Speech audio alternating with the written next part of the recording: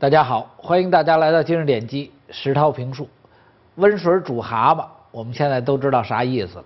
而在昨天一期节目当中，我们提到《苹果日报》说，作为周永康来讲，如果能够稳稳的别出声，到了十八大净身出门，他就算上上签了。我曾经跟大家讲过，什么叫净身出门？如果你看过金庸小说的话，大家对。宫廷历史稍微知道一点的话，大家就明白啥意思。所以，作为《苹果日报》写这篇文章的这朋友来讲，挺损，让作为政法委书记的、掌管着相当部分兵权的周永康先生要净身出门，那对男人多少有点侮辱的感觉。结果呢，到了今天前后没过十二小时，我们发觉没有，不用净身出门了。为什么呢？撂菜了。歇菜了，温水煮蛤蟆，水开了，蛤蟆汤要喝了。BBC 有篇报道这么说的。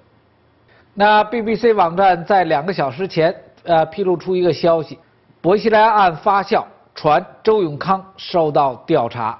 啊，在我们整个十条评述和今日点击当中呢，我一再跟大家解释，呃，作为周永康来讲，他的整个的政治实力远远不及薄熙来。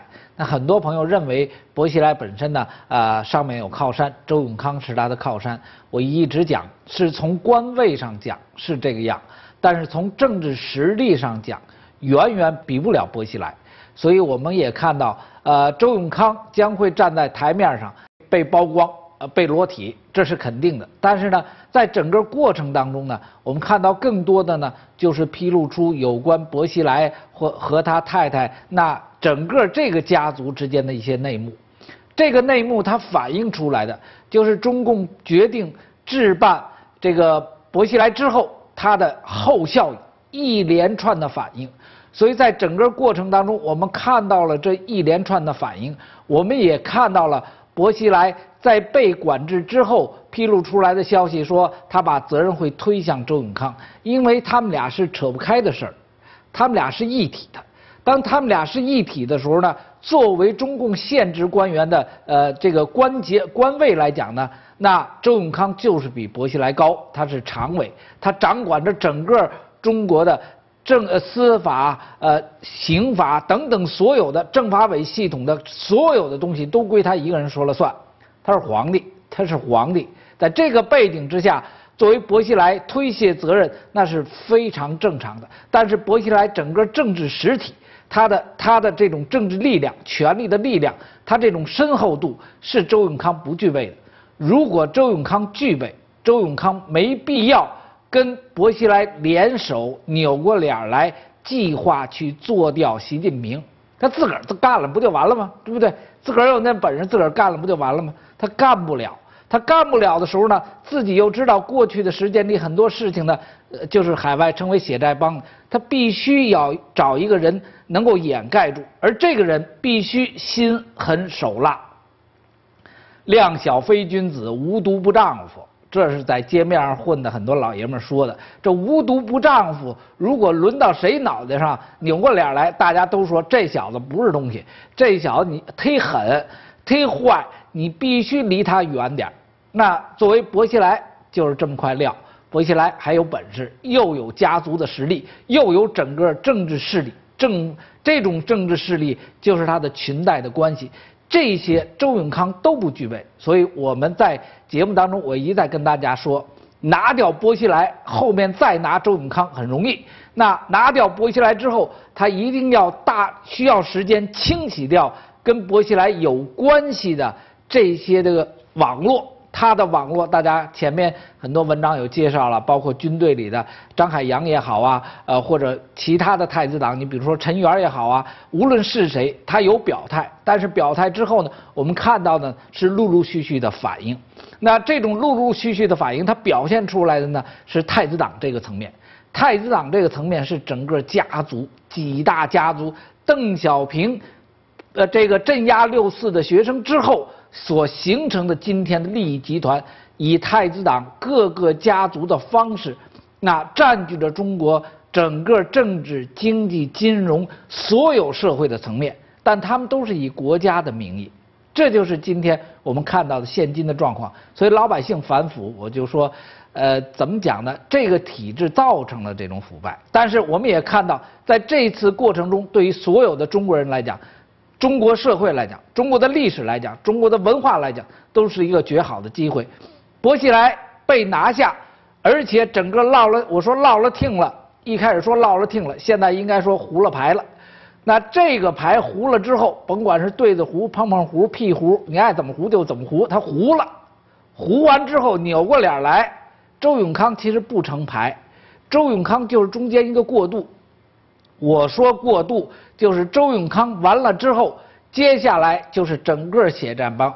这个整整体的血债帮就是以江泽民作为代表的。但是我们也看到放料的网站呢，极力要把江泽民跟周永康划开，甚至有个网上，我今天看到网另外一个爆料的网，那结果这爆料的网呢，我想引用他的消息的时候呢，我发觉前十分钟我还能上去，后十分钟我看不着了，这个网也不知道是被谁给黑了。到现在我们做节目的时候，现在早上大概呃十来点钟、九十点钟，这个网到现在开不开？但是呢，他谈到了说，呃，周永康。跟江泽民始终就不是一条线上，狠呐！我跟你讲狠呐！你说太子党在处理的时候，我一直说嘛，呃，太子党他们之间有感情投资。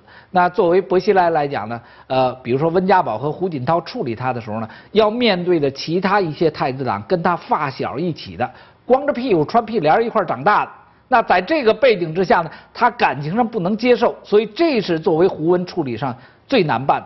但是原来江家帮的人呢，都是花钱买的。我就还是说着最通俗的比喻：花钱买的女人，你信吗？花钱买的女人，等你没死的时候，扭脸把你把你的全卷东西，能卷多少多多少就卷走了。那作为江家帮，原来在得势的时候，老江能立着的时候，那在利益的背景之下，他圈在一起。当老江咔嚓连照片都弄不出来的时候，都提了不起来的时候，四分五裂。把别人清楚跟自个儿说清楚，把别人都弄谁倒霉，还琢磨着你要倒霉的时候就把已经给你踢出去了，不是你正倒霉的时候。所以作为周永康，我就一直说，不光是死定了，这回就是水开了，该喝蛤蟆汤了。那他引述的呢是明镜新闻网，我多次跟大家解释过，很多消息是透过明镜新闻网出来的，而明镜新闻网出来的消息大概就是我刚才提到，把周永康卖掉。说江泽民坚决支持法办薄熙来，法办周永康，而周永康是当年是他给提，他给顶上来的，对不对？这你要弄清楚，当年是他给顶上来的，非要抢这个政法委的位置，接替罗干，为了掩盖罗干曾经在操控政法委时跟江泽民执行江泽民的意见，形成了六幺零的办公室，形成了第二个中央，形成了把。胡锦涛当成小媳妇儿给给顶在那儿，整个的事实是这么个事实，所以今天他要划清界限，把周永康卖了，剁碎了卖，还不是整尸卖，剁碎了卖，说的很清楚，一点肉渣跟我都没关系。文章接着讲说，引述北京政治圈内的人士话，中共中央政治局日前举行了两天秘密扩大会议，作出两项决定。对政治局常委周永康展开秘密立案调查，那延期召开中共十八大。我不知道这个政治局扩大会议召开的时候为什么展开秘密调查？那秘密调查，那那周永康应该知道，对吧？对周永康应该不是秘密。那这个秘密而言，一定是对咱老百姓、对外界。那为什么对他进行秘密调查呢？那我们在过过后的时间里，我们会看到周永康。会出来见个什么外交部长之类的，见一个见一个打嘎不打嘎的事儿啊，就是周永康还会出来，这就叫秘密调查，我们能这么解释。第二个，延期召开中共十八大，那这个问题就很严重了，因为延期召开中共十八大的话，这就造成了今天的局面要持续下去，这一场斗争将可能延可能延续到整个二零一二年。如果延续到整个二零一二年，那这样的局势不被打破，要顺着这个局势干下去，江泽民死定了，江泽民死定了。现在怎么死法？最后死的时候跟老百姓是个什么交代？大家可以考虑这问题了。因为如果只办掉周永康的话，不用延期，延期就是说周永康现在已经被办的过程，就像我刚才提到的，这锅汤，这锅蛤蟆汤已经冒泡了，该搁料的搁料，放油放完了，油已经从肉里出来了。所以您爱吃荤的荤一点啊，爱放点这料放哪放点那料，你是按照广东的做法呀，还是按照东北的做法呀，还是按照西北的做法呀？随您便，您想怎么办怎么办？现在就是口味问题。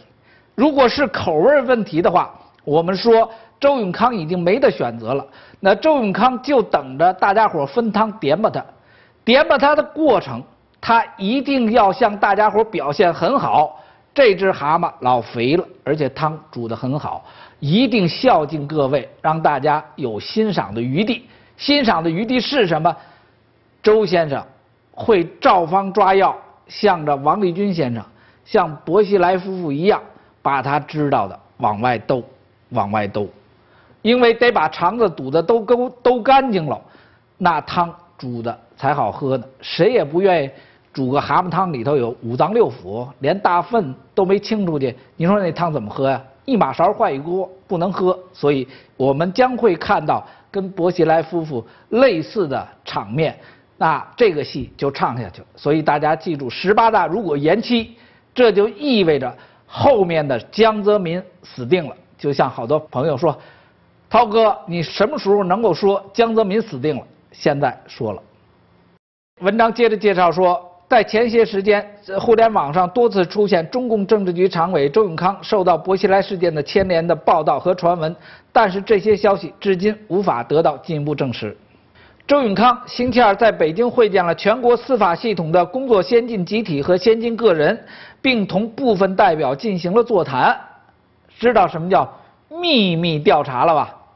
文章接着讲说，就在这个会上，周永康向与会者强调，始终以胡锦涛同志为总书记的党中央保持高度一致。完了，这就基本就完蛋了。我刚才就跟大家说清楚了，这锅汤比较好喝，这锅汤煮起来比薄熙来那锅汤喝的容易，因为口子已经打开了，没招了。所以大家就继续往下看这个大戏。一幕一幕，我们说了，第一幕、第二幕、第三幕，现在真正可能进入到高潮的时候呢，就是我说的真正的高潮，应该是江泽民死定的过程当中，那只蛤蟆，当然您愿意喝就喝，不愿意喝就就不喝。有人说那只癞蛤蟆，那癞蛤蟆反正咱不敢碰，我看着恶心，喝不喝随您了，反正汤是煮了，蛤蟆也进锅了，扒了皮没扒皮呢，没看着。反正现在这过程当中呢，我们能感受到，会看到更多的内幕。那文章里接着就提到温家宝的态度。文章讲说，回顾过去的一个多月的事件发展，薄熙来在温家宝发表严厉指责重庆市委和市政府的谈话，也就是三月十四号之后，薄熙来还在人大的闭幕会上露了面，而一天之后。薄熙来就被撤销了在重庆所担当的包括市委书记在内的一系列职务。瞎子都能看看得出来，周永康不是死定了，周永康死了，完蛋了。所以呢，如果对比我们一开始提到，就昨天节目当中《苹果日报》那篇文章写的呢，我觉得好歹呢，确实给给周永康留了个面子，没被净身出门，留了个全但留了这个全呢，给煮开了，煮成了一锅汤。那这锅汤喝完了之后呢，是给大家垫垫底儿。垫底儿的意思呢，就是现在吃饭讲究都先喝汤，大餐没开始呢。大餐后头，您说是吃癞蛤蟆、吃青蛙、吃田鸡腿儿，随您便。估计还是这道菜。那好，这期节目就到这里，谢谢大家，再见。